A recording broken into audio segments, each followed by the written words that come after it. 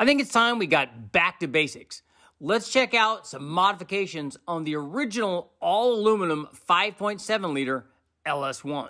Hello everybody, I'm Richard Holdener, and before we get going on our 5.7 liter, that's right, the original all aluminum 5.7 liter LS1, particularly for the guys down under, down in Australia, who are always asking me, Richard, why don't you do more stuff with the original 5.7 liter?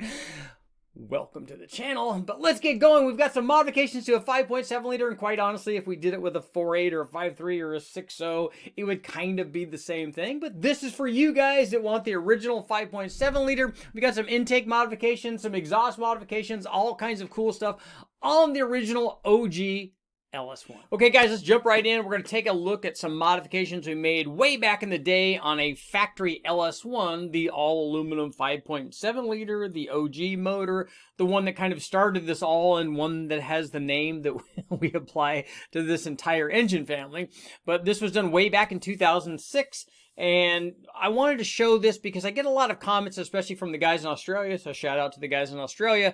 Um, they have the LS1s, but they don't have the same other motors that we have that we enjoy that came in all the trucks. The the 4.8s, the 5.3s, the 6 liters, not nearly as prevalent, but they always ask, hey, what happens if we do this to the 5.7 liter? And I'm going to show you it does basically the same thing. In fact, if you were to take the modifications and do them to a 5.3 and then do them to a 6.0 and then do them to a 5.7, the changes would be right in the middle of the other two because that's what happens with displacement. But let's go ahead and I'm going to show you a bunch of modifications that we ran way back in the day. This was a 5.7 liter, meaning it was just a factory 5.7 liter. This one was destined for a Camaro that came right off of the assembly line. We got this, the or the guys from Westech got this from the guys at the Chevy Race Shop. They were bone stock. They had been sitting for a couple of years and never been run. And so we finally decided, hey, look, let's run these things and, you know, let's make some power. And in fact, this one had already been run quite a bit. We had already made some modifications to it. As you can see, it, we had replaced the factory LS1 5.7 liter cylinder heads with a set of RHS cylinder heads. They, they were, I believe that they were as cast. We still had the stock early LS1 intake manifold on there. We had a fast throttle body on there. It says 60 millimeter, but it was not a 60 millimeter. It was an 80 millimeter. What, what we did first is we ran it with the factory exhaust manifolds, and then I want to show you what headers do basically on a kind of mild combination. The other thing is this motor was already equipped with a camshaft. It had a very small mild camshaft. The comp 265 camshaft, uh, a HR 265. I'll go ahead and show you the specs up here, but you know, like a 212, 218 kind of camshaft um, what we would think of now as kind of a stage one or two truck cam kind of deal. But run in this manner, and we first ran it with the stock LS1 exhaust manifolds, and then we had two and a half inch exhaust extensions coming off of that. We had no mufflers and no catbacks or none of that stuff. So just an extension off of the stock exhaust manifolds, meaning they were going to flow as well as those stock exhaust manifolds could possibly flow. And here's what happened in terms of power. Our little 5.7 liter produced 449 horsepower and 425 foot-pounds of torque. And here's what happened when we replaced the stock exhaust manifolds with a set of long tube headers. These particular headers were inch and three quarter. Let's go ahead and take a look.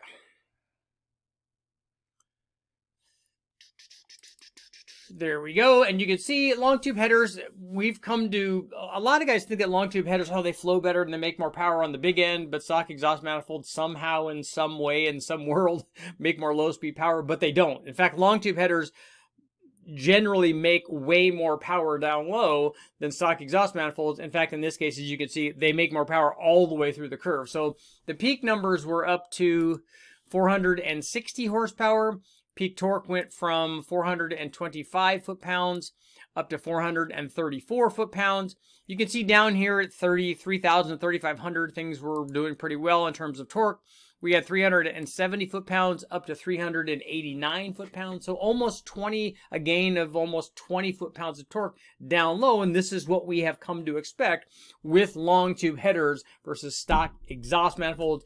Now that we've taken a look at the exhaust, let's check out the intake side. Okay, now let's take a look at what happens when we upgrade the intake manifold on our LS1. And for the people that don't know about this, the early LS1 actually is the second worst flowing and powerful uh, long runner, you know, cross ram style, factory style intake manifold that GM ever made for the LS engine family. The only one that is worse than that is the front wheel drive LS4 intake manifold. But the early LS1 is very bad. And they introduced not long after that the LS6 manifold. In fact, then they made that a running change and started running the LS6 manifold on all the later LS1s. And it definitely makes more power, as we'll see here. I'll kind of show you uh, how much power these intake manifolds are worth. But we'll start off with our factory LS1 intake manifold. And we had a mechanical 80 millimeter um, fast or a it was either fast or a AccuFab throttle body basically a stock, same as a stock size opening on it. We had um, a set of long tube headers on here. These were actually Cook step headers, so they're inch and three quarter to inch and seven eighths. We had our RHS heads on here. We had the the um, 265 camshaft in here, the comp camshaft in here, and other than that, 5.7 liter LS1 and we even ran this with the factory management system and then it was tuned back in the day by um, i think tom did the tuning on this because this was early on when we first got these motors running. But here's what happened with a stock intake manifold 462 horsepower and 435.7 436 foot-pounds of torque and here's when we did our first upgrade we installed a bbk aluminum intake manifold and a matching throttle body. Other than that, injector stayed the same. All of that was the same. Here's what happened when we put the BBK intake manifold on here. See, pretty good sized gains, and this goes to tell you that goes to show you that the factory intake manifold obviously very restrictive on this. In fact, this thing made more power everywhere. We started our run at 3,000, went out to 6,600 RPM but equipped with the BBK 488.8, so 489 horsepower. Let's see here. Yeah, 489 horsepower. Peak torque was also up 450 foot pounds. And like I said, a little bit of a gain down low here, but a lot of gain past 3,500 RPM and all the way out. So this is something you would definitely notice. You know, having a little bit of a gain at the top is one thing, but having a good solid gain all the way through. So the BBK manifold certainly better than the factory LS1 intake manifold. And if you kind of want to see how all intake manifolds do on these things, take a look. I have a video up. I'll go ahead and put a um We'll put a link here to basically when I ran 20 different LS cathedral port intake manifolds, and, and, that's what this is. So now let's take a look at one final intake manifold, and this was a fast intake manifold, and this was actually the early Wilson fast, the original OG one. We'll take a look at our fast one. The fast manifold definitely better than the BBK and certainly a ton better than the factory LS1. And later on, the 102 millimeter would be better yet. But on this particular application, fast manifold pushed this thing over 500 horsepower, 501 horsepower. Peak torque was way up, 470 foot-pounds, 471 foot-pounds, 470.7 foot-pounds of torque. And again, big gains past uh, 36 or 3700 RPM with a, you know, pretty sizable gain in torque over both the factory manifold and the BBK manifold, and we still see, you know, eh, making as much or more power down low, at least down at 3000 RPM. So, the moral of the story the fast manifold on a 48536062, very hard to beat for a cathedral port application. Okay, our final test on our 5.7 liter LS1 was actually to show you what happens when you put extensions on the exhaust. So we have our long tube headers. We normally put a collector extension on them just to kind of simulate the exhaust. But what happens when you actually put an exhaust on there? And oddly enough, a lot of people think that you lose a ton of power by putting, you know, ex- exhaust on there and muffler, but not if you put the right ones on there. What normally happens is we just see a big change in power right in a specific RPM range. It has nothing to do with the flow of the exhaust system. And uh, it's actually a tuning or reflected wave that's happening here. And I'll show you what I mean. This was our 5.7 liter. I'll take a look at our test description here.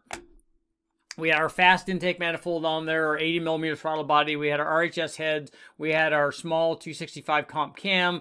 We had QTP inch and three quarter long tube headers on it.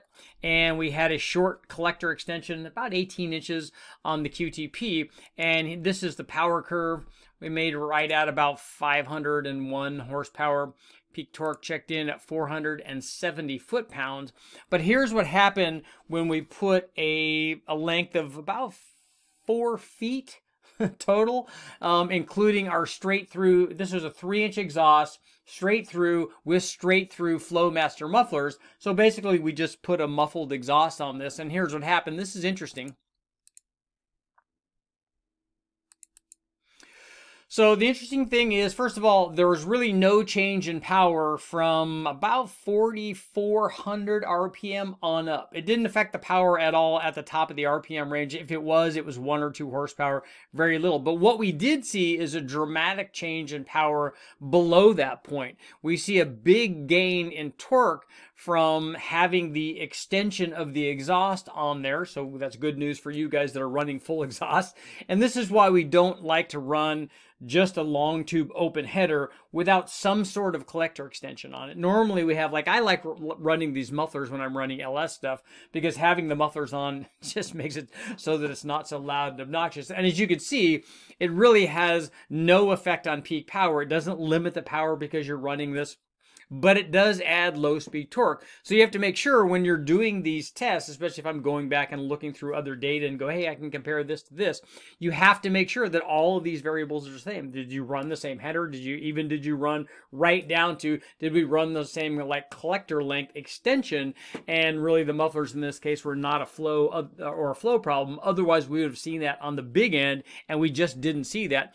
But down here at oh, 3700 RPM, we're looking at a difference of 400 foot-pounds up to 420 foot-pounds. So really, honestly, who wouldn't want an extra 20 foot-pounds of torque, especially if that came with no loss in power on the top of the rev range. And there you guys have it, LS1 mods for my OG all aluminum 5.7 liter. Again, shout out to the guys in Australia and everybody else that has a 5.7 liter. But as I said, when we do these tests on a 5.7, the same kind of thing happens on a 4.8 or 5.3, a 6.0, 6.2.